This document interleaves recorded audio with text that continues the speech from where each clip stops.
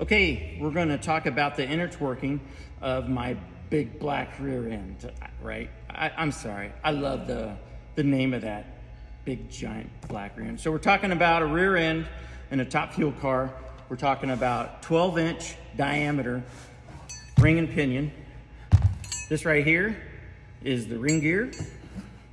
This right here is the pinion. What do you think this thing weighs? Well, let's show you. I got a scale here. Just the ring gear is 19 pounds. Now the pinion itself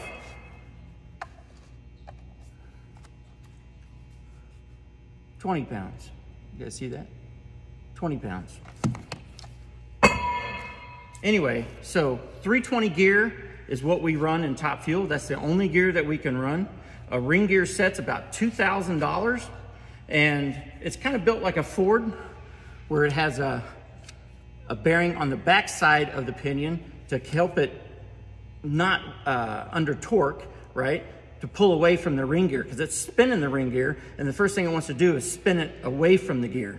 So that's what this does, it helps support that. All right, let's go on to what is uh, connection between the pinion, the ring gear, that's the spool. This is what the ring gear actually sets on. The ring gear sets down on the spool. You see here, you want to say Positrack? Well, it's 100% Positrack because it's all one piece and it's a one piece axle too. So anyway, so that's where the ring gear sits.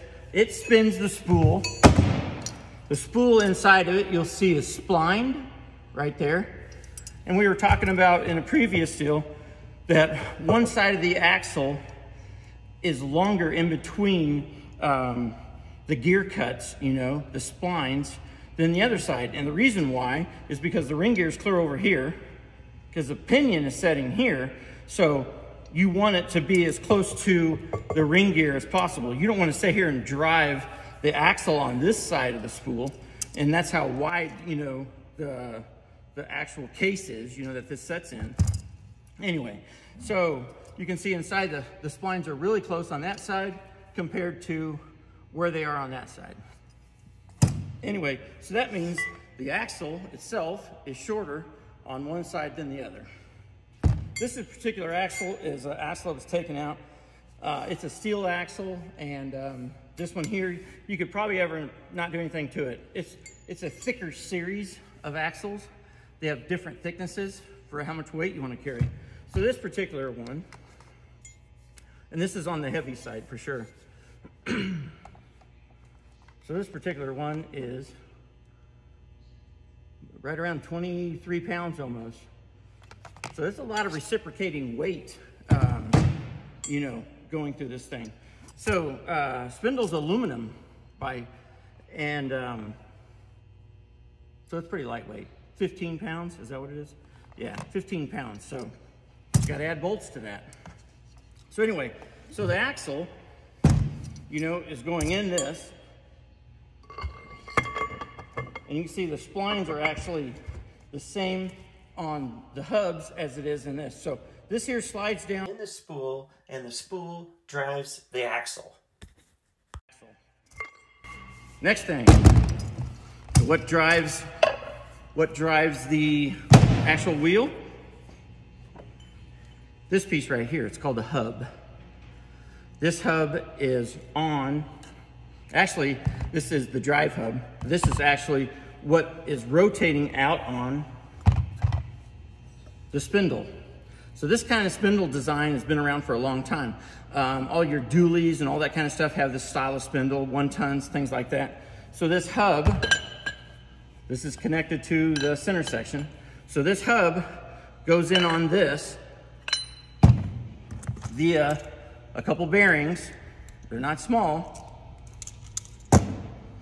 And then those bearings are on this and then they're tightened up with this nut right here and they're pressed up against basically a crush sleeve. So you get it pretty damn tight because you don't want this thing, you know, flopping around on here.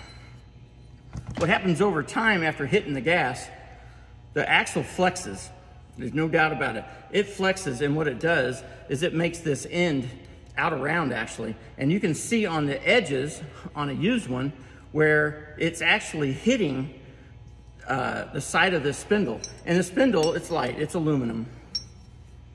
Um, next thing, I want to talk about this drive hub. So the drive hub sits on this, it bolts down. This is how the wheel is kept on. Of course, the lug nuts, or lug studs, sorry. And, but what's cool about this, that people don't understand, is that on normal cars, right, they're actually drove from the studs. The studs is what turns the wheel. Not in our case. We had a situation uh, a, a while back where it sheared the studs off and lost a tire and the tire and wheel flew off and it went into the crowd. So what they did is they decided to change it more to where it's driving off these lugs. The studs just hold the wheel on. These lugs is actually what is basically a gear, you know, uh, into the actual wheel. And, and after this, I'll, I'll actually grab a wheel and I'll show you how this sits down inside of it. So this part here is on the end of the axle. So it, this is what drives the, drives the wheel. So these are one-piece weld Delta uh, ones, top fuel wheel. You can see here, we all have to run the same tire, a Goodyear tire. Um, and this is the uh, opposite side, and I was telling you about the, how this thing is, is driven by the rear end. So this is the hub. It sets inside the wheel, and that's how it drives.